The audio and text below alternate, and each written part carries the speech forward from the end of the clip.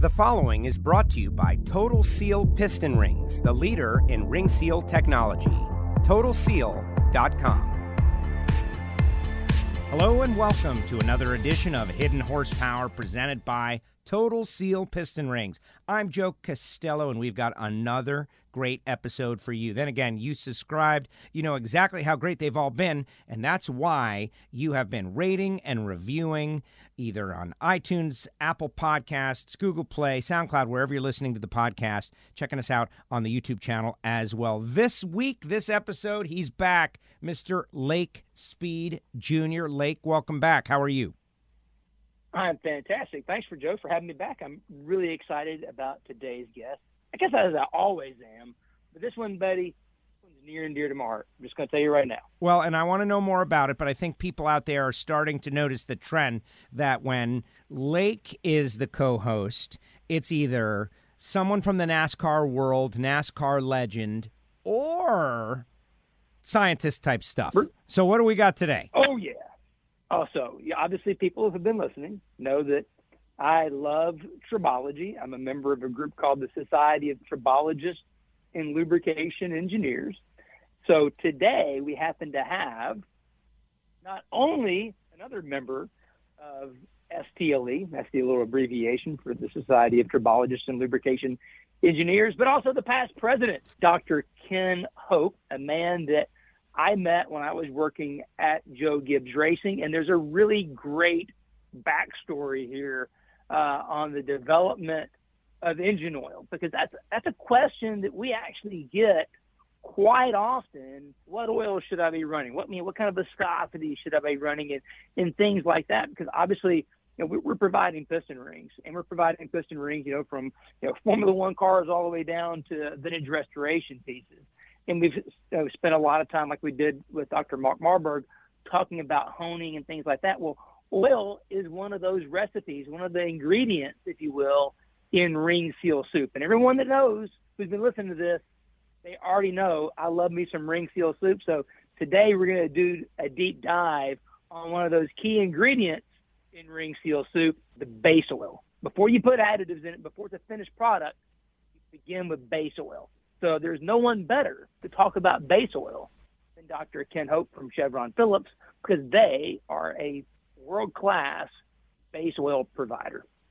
Excellent. Thank you very much, Lake. Uh, wow, that's uh, quite an introduction, and uh, it's just my pleasure to to be on this podcast with uh, with you and Joe today. I've enjoyed listening to a couple of podcasts before, and and so uh, always been very very interesting. So yes, uh, base oil, PAO. These things are some of my favorite subjects, so it's just my absolute pleasure to be able to talk with you guys today.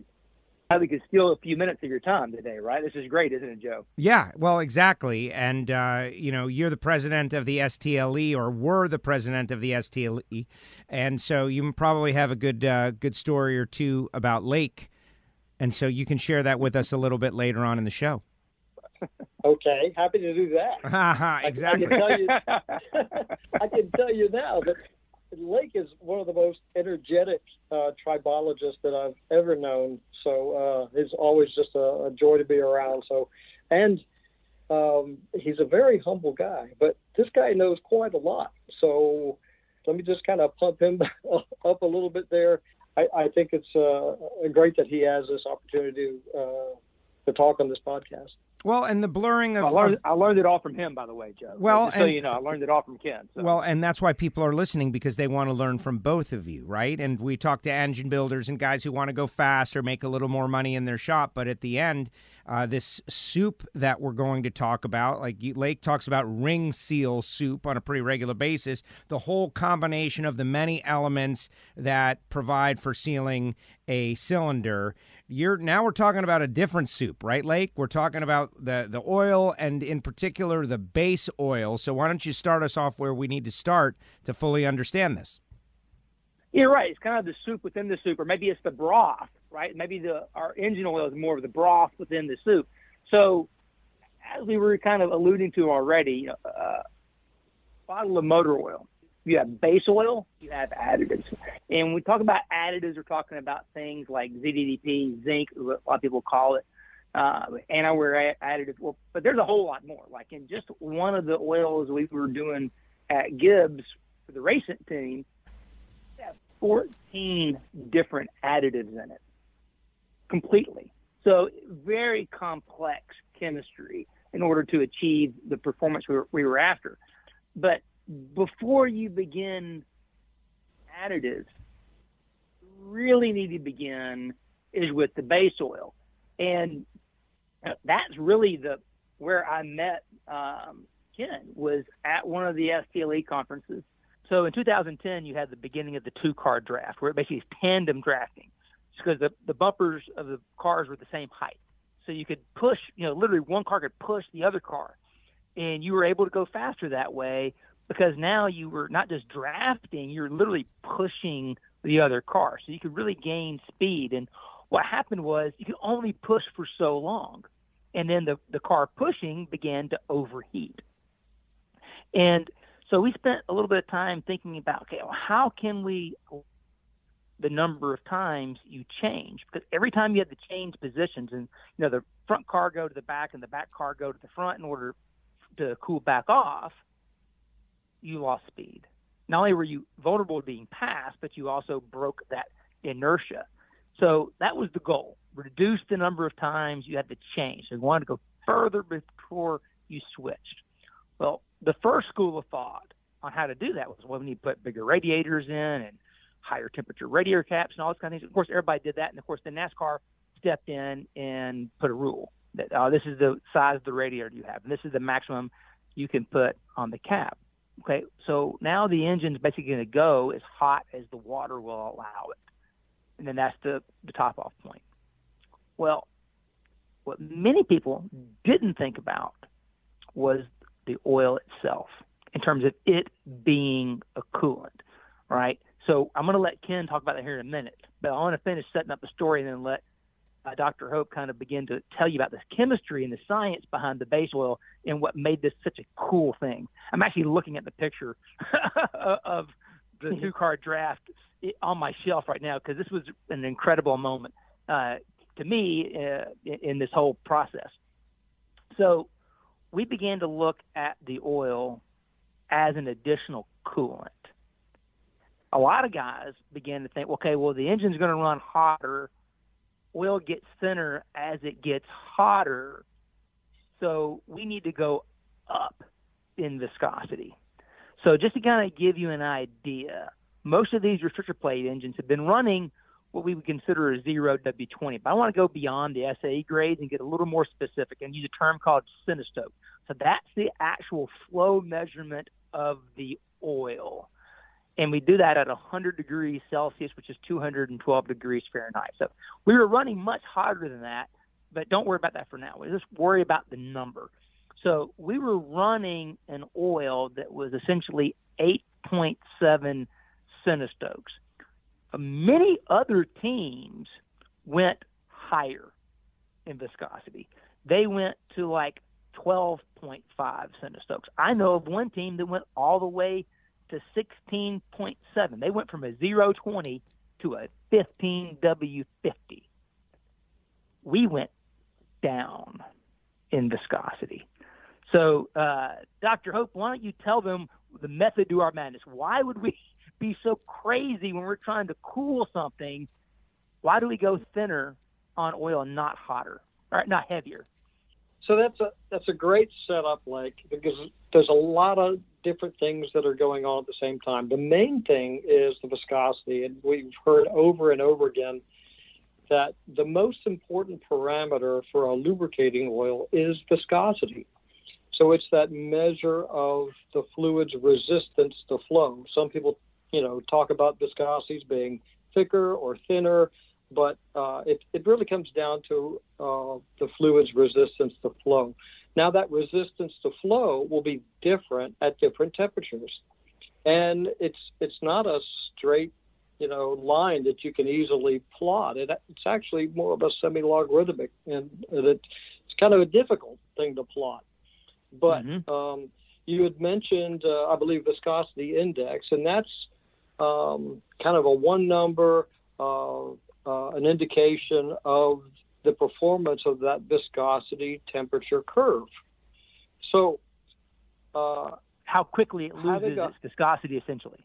The higher the yeah, number yeah. of the viscosity index, the less quickly it loses viscosity with temperature. Right. So a higher VI is always better because uh, at higher temperatures, a higher VI uh, oil will not lose its viscosity as the temperature increases. And so that's good because it gives you good protection between the moving surfaces. And then at lower temperature, a higher VI is also good because it means the oil is not going to become thicker or be more viscous at the lower temperatures. Um, so it can get, you know, to those nooks and crannies. It can still provide uh, good lubrication. And in both cases, a higher VI is always better. So with a higher VI oil, it enables you to drop from that 12 and a half centistoke down to the 8.7 centistoke that you mentioned without losing protection and it enables you to uh, not have as much viscous drag because as as the oil becomes thicker as the viscosity as the temperature decreases then uh, that's an energy you know uh, sap it's going to steal and uh, rob energy away from the engine or away from uh, where you know whatever system needs to be doing work so um, exactly I, I, can yeah. say for a fact just to give people who are listening a concrete example. On the engine dyno, uh, Joe, out there at Ron Shaver's place, when we take an engine and run that same engine and run it on a 20W50 at a fixed engine speed with a given with a fixed load on the engine, that 2050 will run about 40 degrees hotter on oil temperature than a 0W30 will. Everything else is the same. Same water temperature going in the engine, same amount of oil, same engine speed, same load. It can be that dramatic a difference in engine oil temperature, which is essentially cooling the engine, just going from a 2050 down to a zero W30. So, Dr. Hope, you can continue on. Yes. So, the viscosity is the first uh, and the most important uh, thing that we're dealing with there. But there's two other things that are going on also. One, of course, is friction, and friction is going to generate heat, uh, and that heat has to be removed. And so you mentioned oil as a coolant, looking at that oil as a coolant, and that's another important factor because that's what I've been saying for, for many years. Really, the second function of the oil is to remove the heat. First function is reduce the friction. Second function is to remove that heat. And when you look at different types of base oils, uh, the PAO actually has a higher specific heat. And that means it has uh, a higher ability to absorb heat. And of course, that's the first step of removing heat is, is absorbing that heat. And then the oil can transmit that heat uh, to some other place, to uh, from where, uh, you're away from where that heat is being generated by the friction. So those things, the viscosity, the uh, friction, lower coefficient friction is always better, and then the higher specific heat. And I think that specific heat um, really gets into that two two car draft scenario because if you can more effectively cool the uh, cool the engine quicker, or if you're not generating as much heat, then you're going to be doing less of that. Um, you know that car jumping out where it's getting a lot more heat, uh, a lot more uh, wind and uh, flow onto the engine and, and, cooling the engine, but also you know fighting against the wind. Uh, so I think all those things are acting together. Right. So what we did, and we can talk more a little bit more uh, later about the metallocene uh, PAO, which is one of the base oils uh, that Chevron Phillips manufactures that we were the to give you guys some specific numbers. So I mentioned the oil we've been using previously to the 2011 season was 8.7 centistokes. That was the flow measurement at 100 degrees Celsius. That engine oil also had a viscosity index of 172. For the 2011 season, we tuned the viscosity down to 7.2 centistokes. So we went even thinner than we had been before. And we raised the viscosity index to 207. So that was a huge changeover. And then the results of that change were that we went down to Daytona, and in the very first practice they had, we ran seven laps straight with Joey Logano pushing Kyle Busch. And they went, I think, 209 miles an hour in practice because of that. Like no one else could go more than like three laps before they changed, and we went seven laps, and we and then finally changed and went 209 miles an hour. And of course, what did NASCAR do? They changed the rules on some stuff at the end of that practice because we were going way too fast.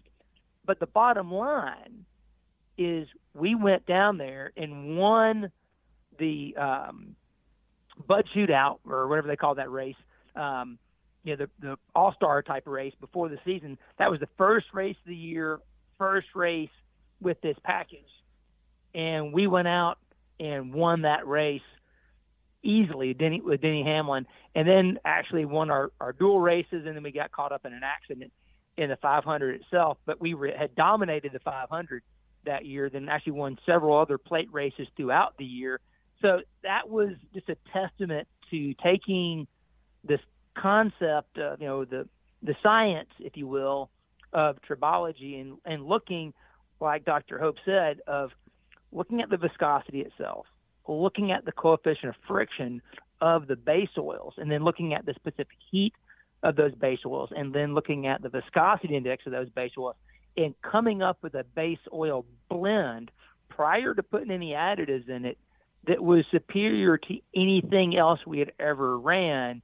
And it really enabled a whole other level of engine performance by doing that. So, I mean, that that's kind of to, to wrap it up and say, okay, here's what ha- here's what we did.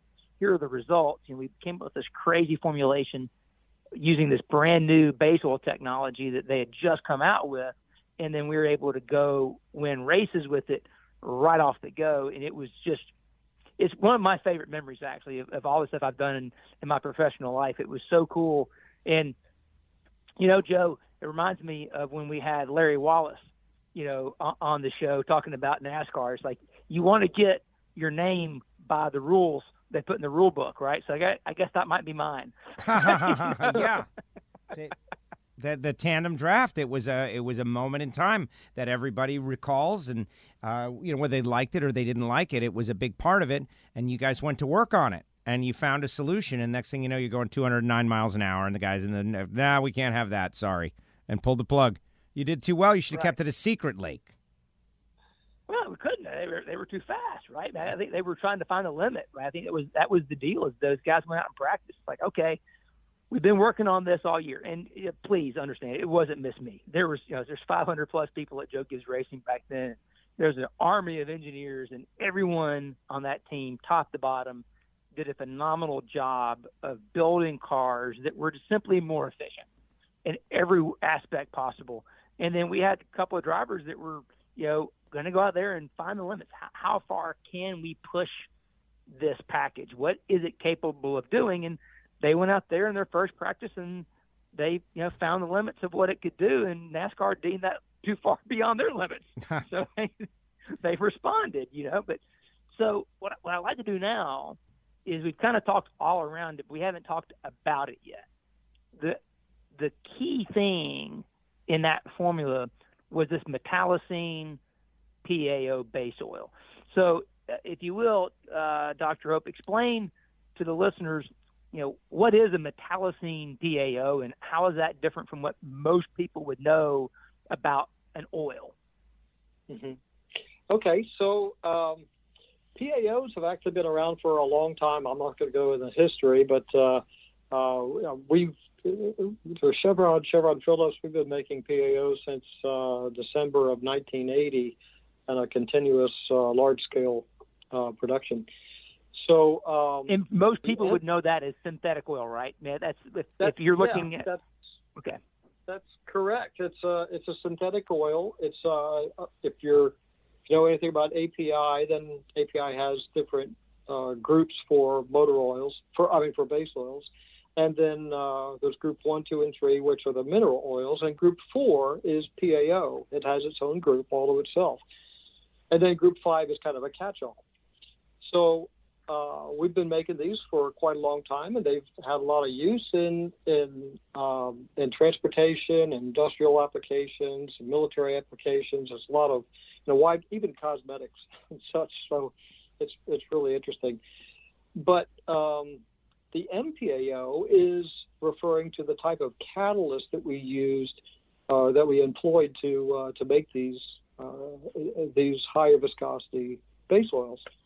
And uh, uh, metallocene is kind of a, um, a category of different catalysts, and it, it, refers to like a single site catalyst. And from a chemist standpoint, that's a little interesting because you know exactly kind of what what the catalyst active site looks like, and and you can theorize what's going on, how the molecules are knitted together. And this this molecule is knitted together in a very regular fashion uh, which uh, may not seem like it's a good thing, but it actually is a good thing because um, for for oils, for PAOs, you want a lot of diversity in chemical structure, and these fluids are are liquid down to very very low temperatures, um, and that's one of the reasons why they're used so readily. In, in some of these uh, very extreme type of applications. You can you can go down to the very cold temperature extremes, and they'll still float.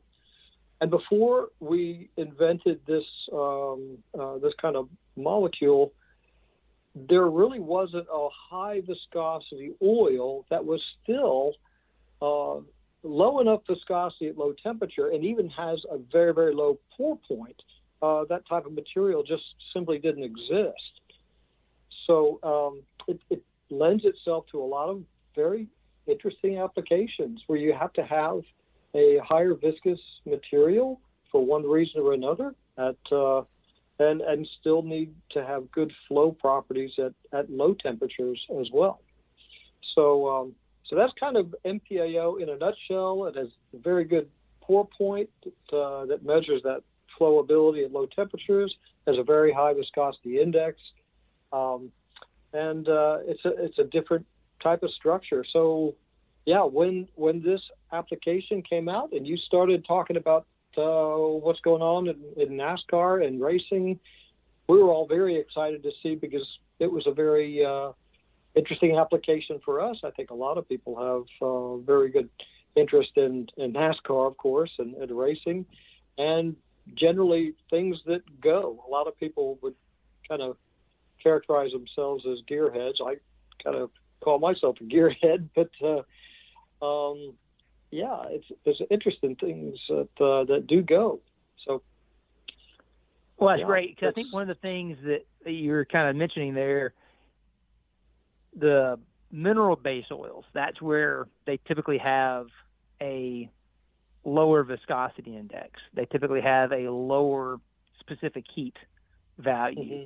So even for the same viscosity blend, a mineral based product or even a semi synthetic, a blend, will not have the same viscosity index, mm-hmm. base oil alone, as the PAO. It won't have the same specific heat as the PAO.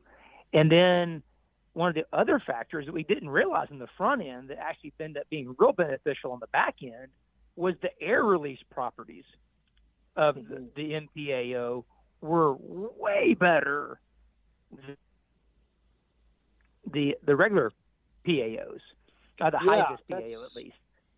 That's a that's a good point, and that was kind of a happy accident. Um, we didn't really design that into the molecule. Uh, these these molecules are carefully designed, but uh, having air release from the oil is very important and I'll just kind of tell people why that's important. And it comes down to the fact that air is not a very good lubricant. Uh, foam, uh, which is a mixture of you know air bubbles and, and the oil, uh, doesn't really support a load very well because it's mostly air. And uh, the other thing is that foam is very difficult to pump. So you want to circulate, you want to have, have the ability to circulate an oil uh, to keep everything lubricated. But if it's if it's foamy, then then you're not going to be able to pump that, and uh, you're going to have problems.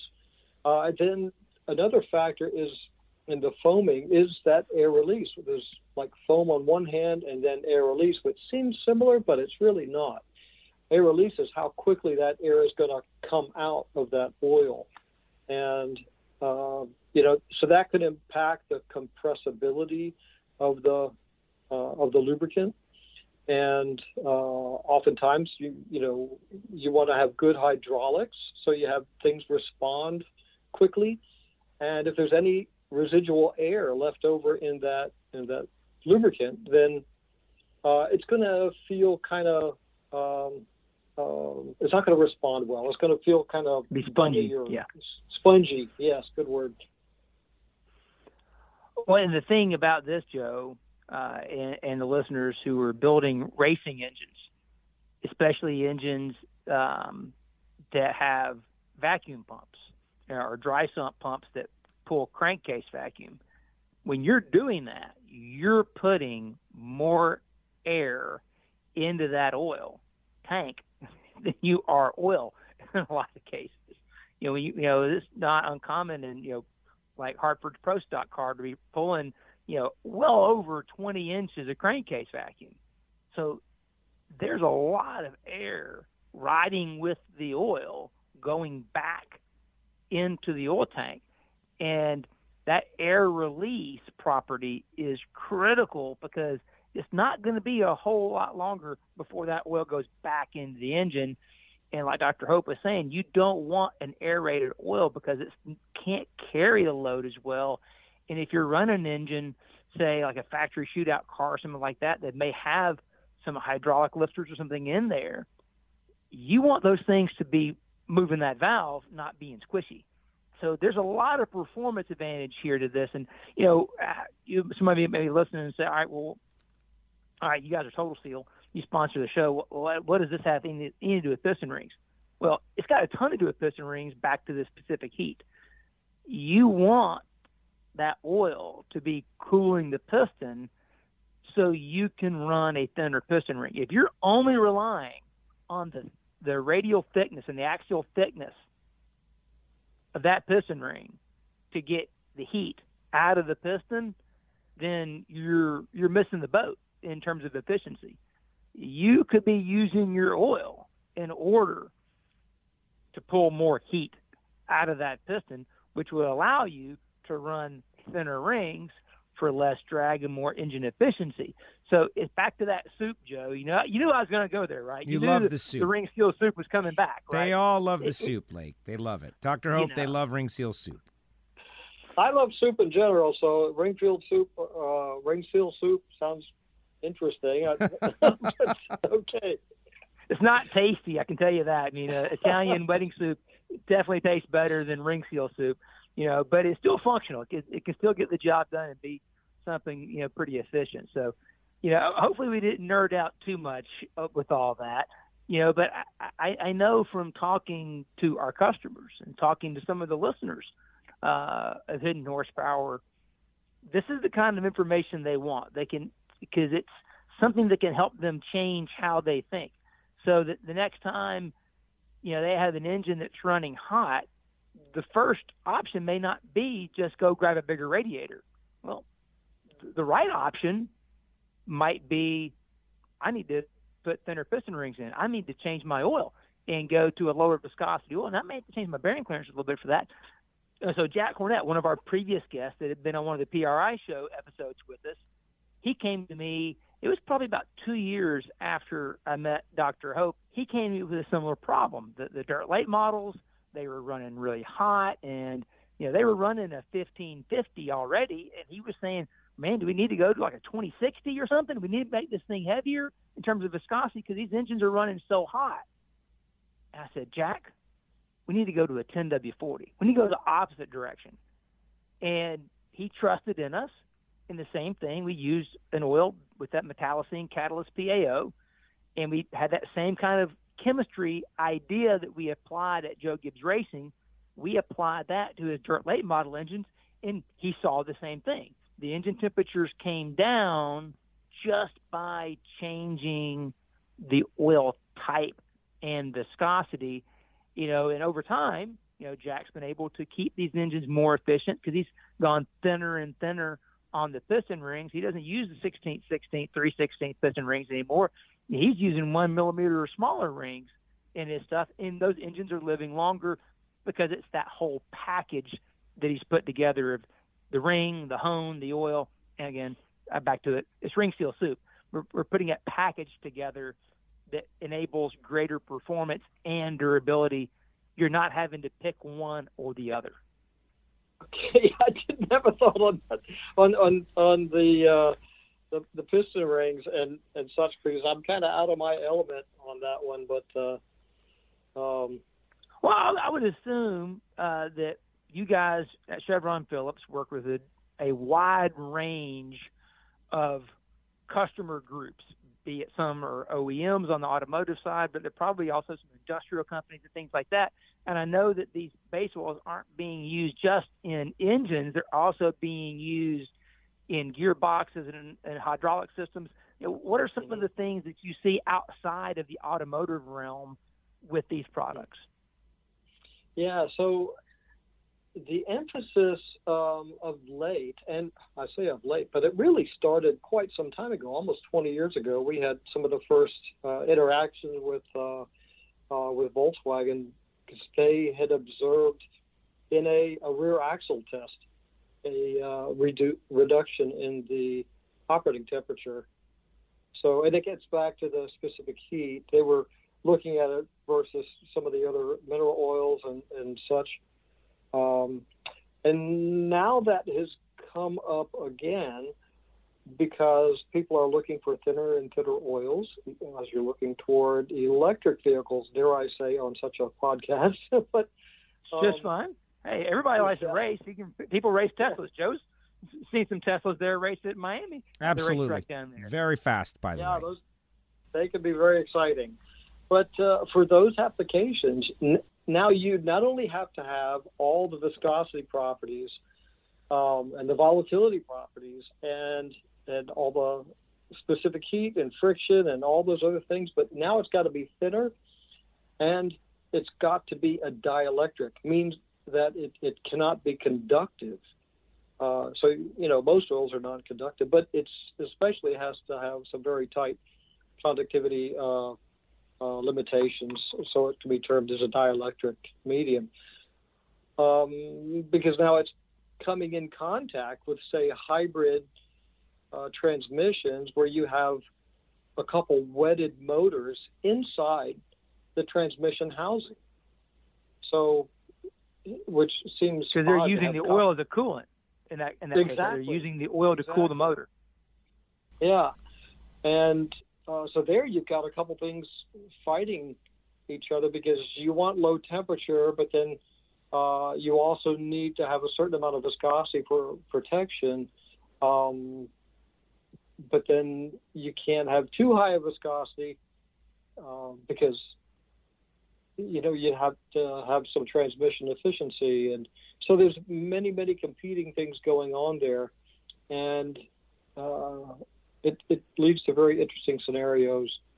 So yeah, that's uh, kind of what's what's going on there. Now uh, there are other applications also that get into some of the Bitcoin mining and computer cooling because now you have computers doing uh, some of the things that uh, you know they're running the internet, running our uh, controlling our cell phones and, and communications, and as well as the the normal types of uh, things that computers do.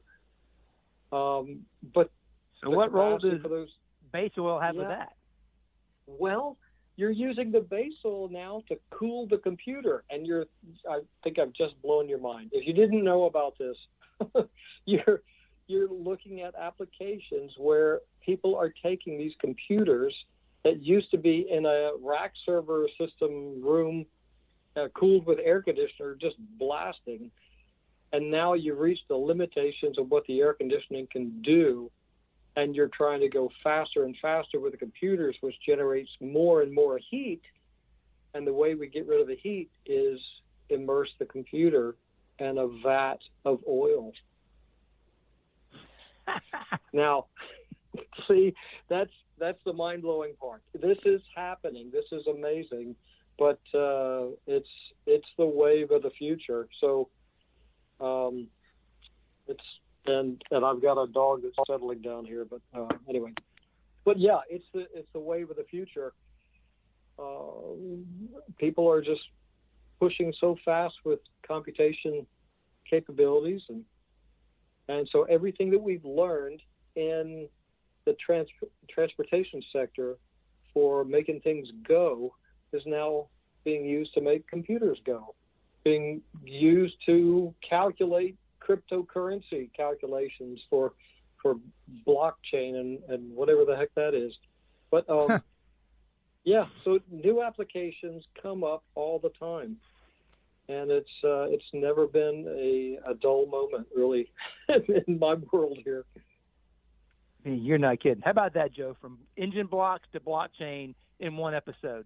Yeah, I think that's going to be like our little pocket title for this one. Pretty amazing. But we always knew it, though, Dr. Hope, that we, those of us who are entertained by race cars, who want to be around race cars, that there was some sort of higher purpose other than our own self gratification. And now, oh. thanks to you, we know we were saving the world through our racing, right? We were we're doing great things. the case. Yeah, because um, the racetrack is that's your laboratory. You can do so many experiments uh, there, and that's all the cutting edge.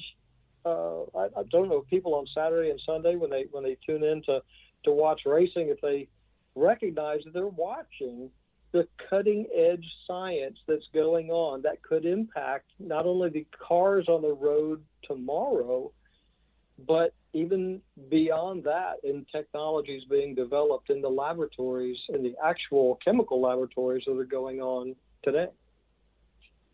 Exactly. I mean, wow. if you watch the Formula One race on Sunday, those engines are over 50% thermal efficiency. A, a really, really good production engine, like the high end production engines, 30 to 35 percent. So this these engines are nearly 50 percent more thermal efficient than the best production engines. So it's incredible to see what racing technology can do. And like you said, Joe, tongue in cheek, but the answer is actually real: is that racing technology can be something that can save the world. It can help us address the challenges that we face as a world. And I think racers, when we partner with science, you know, people like Dr. Hope and Dr. Canter have been on the uh, show before, Dr. Malberg, when we really work together as a collective, I, I, you know, it, it sounds cliche, but there is literally nothing we can't do. That's amazing. That and that's yeah, the whole point. Exciting. It's so exciting but like figuring out the right application and the right time and and what to do with it. That's uh, that's where we are. It's like a it's the it's what is it? It's the end of the beginning and not the anyway. You get my point.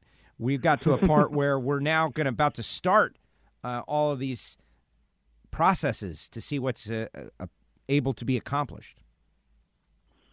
Well, you know, I was thinking about the uh, electric vehicle conference that uh, I saw Dr. Hope at last fall. And when they were going through some of the challenges from, you know, a plug-in hybrid to um, a full EV and some, you know, hydrogen we've talked about, before you know, could be a, a, in the mix here too. Um, when you look at the gearboxes and, you know, electric motor speeds of, you know, 16, 20,000 RPM plus, well, all of a sudden those gearboxes and what that fluid needs to do and what it behaves like, it starts to sound like some of the racing fluids we've already done. It's like I think we could get pretty close to what those things need from stuff we've already done all you know in the past because mm-hmm. it the challenges are pretty similar. Mm-hmm. Yeah. So Lake, um, just a quick quiz. Don't want to put you on the spot, but what's the thermal efficiency of a typical electric vehicle? Oh, that's a great question. Um, I I think we might what you had mentioned with the uh, with the Formula One being 50 going over 50 percent thermal efficiency. I think you're probably approaching that uh, of, a, of an electric vehicle if if you're not there already. So it's kind of an interesting thing to look at. But um, and I know there are some electrical components that are on those uh, uh, those Formula One. They are. They're hybrids. So it, it's mm-hmm. not a straight internal combustion engine. It's a very complex hybrid engine where they're using um, turbocharging to help boost the efficiency of the engine, but they're using electric motors to recover energy from the exhaust and then feed it back independently of engine speed to the intake. So they can run the engine at optimal boost levels regardless of engine speed, which is something a traditional supercharger or turbocharger just can't do. I mean, that was the real innovation um, out of that. And the credit to the guys at Mercedes, Benz, AMG, because they're the ones that really did it first. And of course, they uh, got the spoils of that with several world championships. Um, but there is a lot of energy recovery on the car. And I think that when you look at that technology and you say, all right, well, if internal combustion engine can, can do this. And we think about at the STLE conference back in May, the gentleman from Nissan were they were saying, hey, internal combustion engines have to evolve and become more efficient because they don't know what the future is going to be. They don't know if it's going to be hydrogen fuel cell or battery electric only or some mixture of hybrid. And we know Cummins, they're working on hydrogen combustion. So we don't know what the future is going to be but we do know we have to become more efficient, period. And I think that's where this whole episode kind of plays into that is that we have to look at the base oils and embrace these technologies, begin to think about these things holistically and understand that there's efficiency to be gained. Mm-hmm. I, I think uh, kind of what you're saying is we all need to be driving around on Formula One vehicles. I agree with that. Let's do it. I'm with you. Sign on. Everybody in the audience, we just got 10,000 emails. They all agree. All Formula One style vehicles for every commuter. got my vote. Well, I think that's one of the reasons people watch uh, motor racing in general. And I know there's been a push pull amongst the rules makers because if it's so much science fiction, it's very expensive, um, and and then no one can do it uh, and they want close competition, and so they keep like the rule. You guys figured something out, and they put the they they put the kibosh on it immediately. Like, oh, look at them, they figured something out. Great job, take it away. Uh, but at the same time, there's a group of motorsports fans, and and many of them are Formula One fans that really like to watch technology get pushed out there for all of these reasons. And so there is a there is a balance and I, you know, the technology race fan. I know at the NHRA there are people who are always asking us, not that you know we do have modern technology that are involved in something that is very restricted by the rules, but people always want to know how it works, what's in there, what kind of metal, what kind of uh, you know unobtainium is used, and so this is a very worthwhile conversation. Well, yeah, I think this is what motorsports does best, is that we're really good problem solvers and when you give us the incentive, which is winning, then we will more than likely come up with an answer.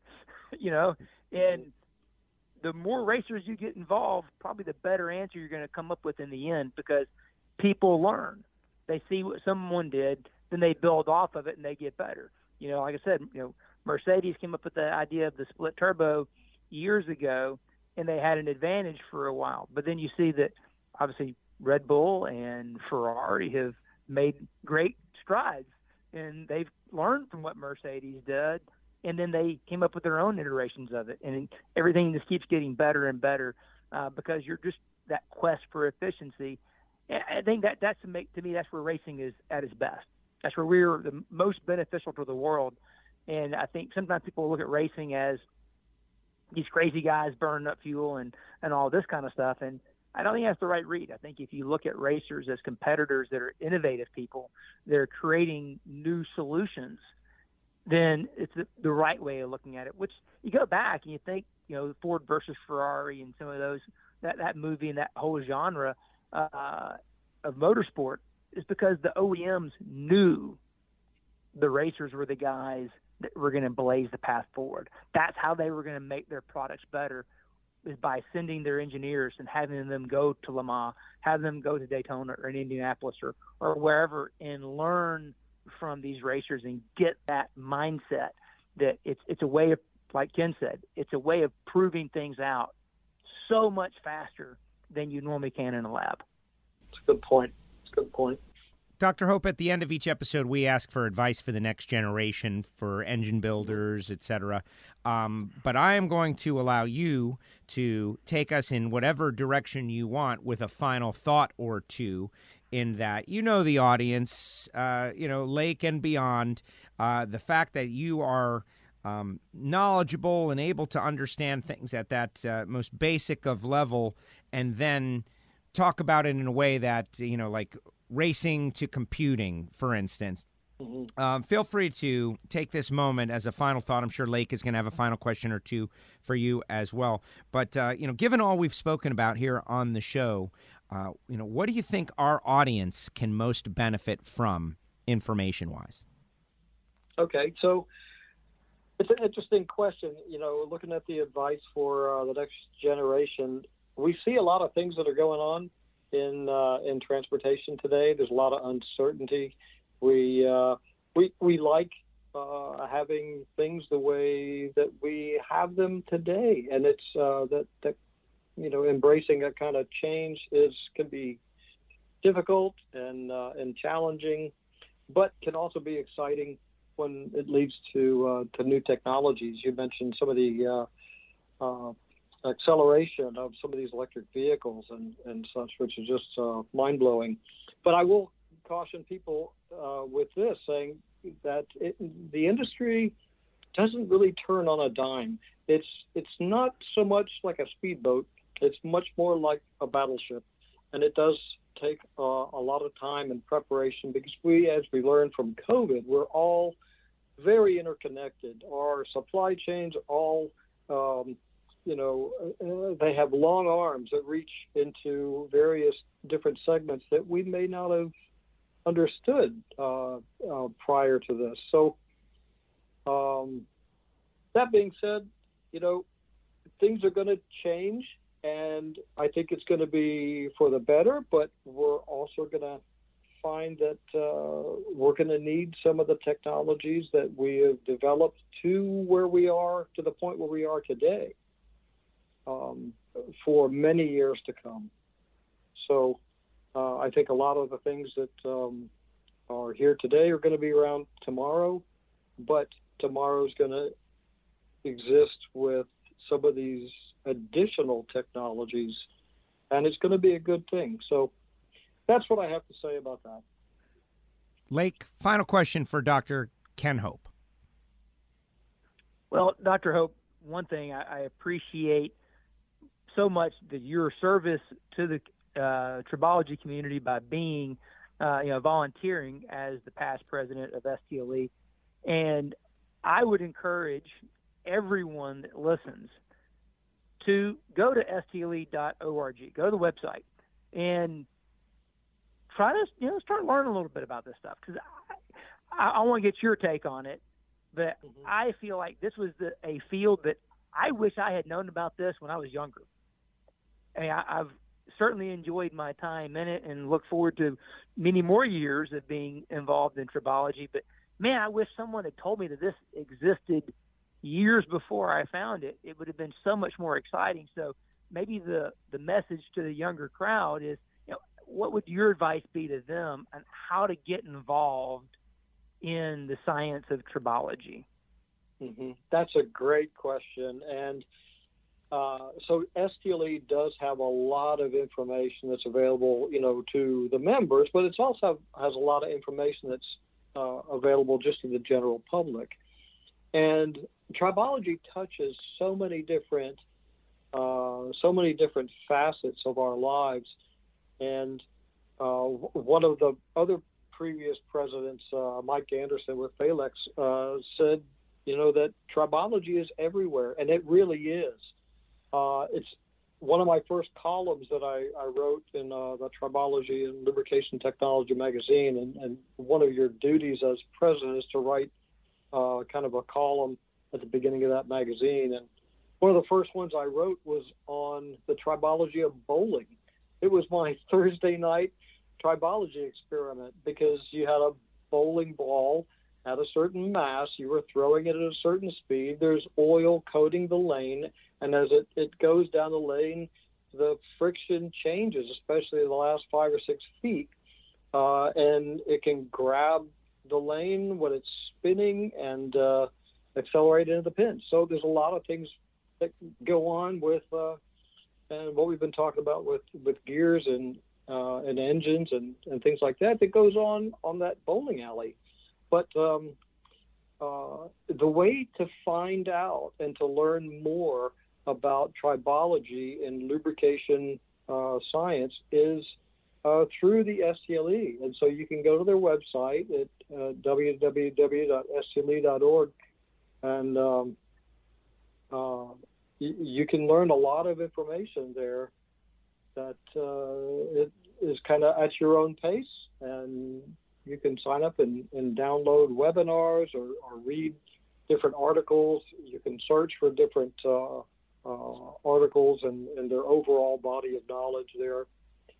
So, yeah, as people come into a new field, then they uh, uh, are or should be looking for ways to learn everything that they can, so that they can become an expert, so they can they can become very knowledgeable, and be able to put all the pieces together, uh, so that they can further that science, further that field, go a little bit further down the road, uh, and and make a good, honest uh, contribution to uh, to society in general. So it's good for all of us. Wow. Exactly. That no, absolutely. That that is, uh, and and I think we all feel that way, one way or another. And we love when a technology kind of goes from racing into other things that we can we can claim it. Lake, this one has been amazing. Dr. Ken Hope, really appreciate you coming on this show. This has been tremendous because it just it kind of puts scale to the whole thing, right, Lake? Like we're we're involved in racing, but there's just so much more going on here. Well, it's the unintended consequences. The, the, I must say, call that the butterfly effect. That what we're doing in racing is trickling out because we do something here and they take one aspect of that and it can go somewhere else and then it goes somewhere else and it goes somewhere else. It's neat to see that what we do can have a greater influence and understand that things happening other places also can influence us and that we are interconnected. I think that's a great story to be told. Great episode.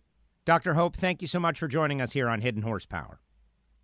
Thank you. I appreciate the opportunity. And there he goes, Dr. Ken Hope Lake. That one, what are you trying to do to us, Lake? Like, man, we're getting smarter over here. How many of these uh, Lake Speed Scientist episodes I find myself like deeply thinking about what he's saying? And I, I love race cars. It's the two right. worlds are colliding, Lake. I'm trying to educate all you people. You're right. You're catching on to my, my master plan, Joe. I figured it out, everybody this guy. No, like, well, really interesting to hear about how the world of the racing industry is inspiring and kind of teaching the ways to all these other industries. And, uh, but it also makes sense. That's something we knew already, right? That racers do it better when we're like forced uh, evolution is really what it is. Oh, it, it, that's a great analogy, and I think so, and that's why it's great that we have people like Dr. Ken Hope and Dr. Neil Canter and Dr. Mark Markberg, people like that, that are willing to come put their time and energy into us crazy racing people because they see that they get something back out of it too, and then we all benefit from from their help and involvement. Exactly. Simple as that. Just like people who want their engine built out there can can benefit from the involvement of the folks at Total Seal Piston Rings. And uh, let's talk a little bit about that. What's going on over at Total Seal? And for the people out there who are working on their projects, the year we're about halfway through the year. Won't be long till they're planning their refresh during the off season and the winter break. Uh, what should they do? What do you got for them? What's going on over there? Well, a couple of things. Uh, one, we're working on some new coating technology. We won't let the cat out of the bag yet, but we've had some tests recently that were really encouraging, and we're going to be doing some more testing throughout the summer and into the fall. So hopefully by PRI in December, we'll be able to have a, an announcement about maybe some really life-changing, you know, world-shattering new coating technology for piston rings. But in the meantime, if you just need to freshen up your stuff, give us a call 623 587 7400. We have a ton of product on the shelf. We've been getting in more raw material in the last couple of months, and the production guys have been killing it, cranking out product, rebuilding inventory. So back to the supply chains that we talked about, we're in pretty good shape. We're not where we want to be yet, but we're getting closer and closer day by day. And all the guys there in Arizona are doing a killer job, you know, getting orders in, getting stuff processed, and getting stuff shipped out. And so, yeah, it's it's a great time to be at Total Seal. That is excellent stuff. So, if they need uh, something from Lake Speed, where do they get a hold of you?